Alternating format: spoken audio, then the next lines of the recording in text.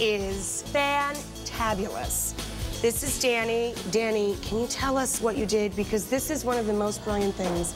I'm hugging a plate. That's how much I love this. Uh, I call it upcycling. Upcycling. And it's a positive word on recycling. And obviously you're used to all these like mismatched little cups, this little fun bird you might find at a flea market. And you don't want to throw them away. No, of course not. But you can actually upcycle them into something really functional. And here, look at this. This glue I used is a super epoxy glue.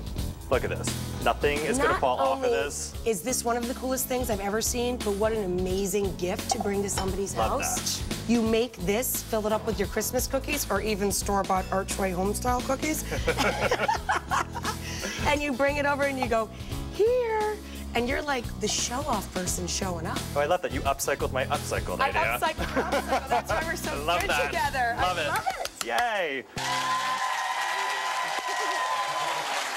Uh, we had so much fun that night. It was so great. That And, was great. You know, I, I went on and on in that piece about Danny. This is Danny Seo, everybody, the man that created the upcycling.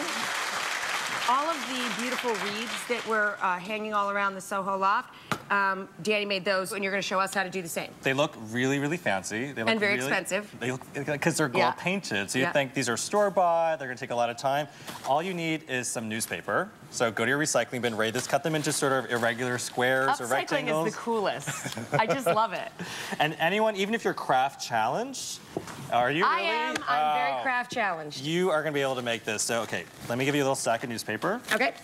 This is how easy it is. Blink and you'll miss it. Okay. Blink and you'll miss it. Stack a newspaper, you sort of bunch it up like this, fold it in half. Like you want, the more sloppy you do it. Oh, good, because I did mine very sloppy. Okay, and then you take something called a zip tie. So we all need, like, know these from the home improvement store. You literally just take this over your wreath frame. We're gonna put this on top. Do you know what I know these from? Watching cop shows, and they use these instead of handcuffs. Oh my gosh! All right. I love how one person applauded how mentally upset I must be to know that. so we literally take our zip tie and you just zip it all the way around, secure it in place tightly around your wreath frame. You fluff Goes it in out. like this. You pull, pull, pull. You fluff it Yeah. around, Pull, pull, pull. and you keep going all the way around the frame. Fluff, fluff, fluff. Flipping it in, you cut off the excess of the zip tie, obviously, with a pair of scissors. Gotcha. After And you keep do- going around, You around. do like 15 of them, and look at this. Within like five minutes, You end up with that. With a gorgeous wreath. Now, this is kind of cool on its own, but you know, Right. if you want to make it fancy like we did for your loft, do you mind holding it for a second? Not at all. You just take a little bit of metallic spray paint, and I'm not going to do the I whole wore thing. a gold shirt. And you I'm just- about to get spray painted. You literally just spray paint it like this in a well-ventilated area, of course. We've got one hanging on the door there. It's just gorgeous. I mean, it's so easy. Love it! How cool is Danny? Put the how-to, although it's so easy, you probably don't even have to jot it down. We've got the how-tos up on our website and all the great tips from all of our collaborators for our great Soho Loft Party. That's all online if you guys want to check it out to, you know, be copycats at home.